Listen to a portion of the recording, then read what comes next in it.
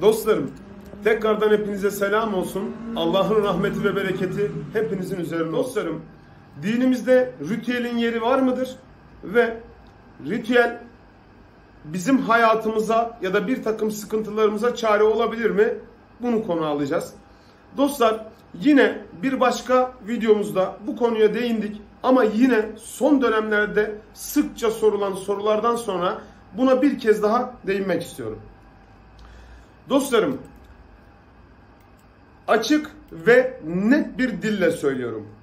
Ritüel ya da tılsım dediğimiz olay şaman ve pagan dininin bir takım arınma ya da şifacılık adı altında yapılan ayinlerinin ve akabinde bu ayinlerin içerisinde kullanılan bir takım ya uygulamadır ya da tılsımdır.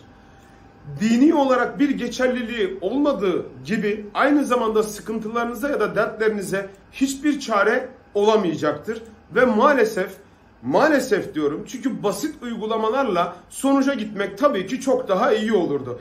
Ama böyle bir şey söz konusu değil ve küfre giden Allah'a şirk koşmak için e, yapabileceğiniz en mantıklı işlerden bir tanesidir. Şirk mi koşmak istiyorsunuz?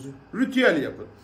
Dostlar, ritüel dediğimiz olay tekrar şu noktaya değinmek istiyorum. Şamanizm ve paganizmin temellerini oluşturan arınma ve şifacılık adı altında yapılan ayinlerin e, akabinde uygulanan ve Türklerin İslamiyet'e geçmesiyle birlikte bize bir gelenek ve kültür olarak gelen özellikle de Özbekistan, Kırgızistan ve Kafkas ülkelerinde çok yaygın olarak hala kullanılan fakat tekrar söylüyorum hiçbir geçerliliği olmayan tamamen akıl yoksunu kişiler tarafından uygulanmaya çalışılan bir yöntemdir.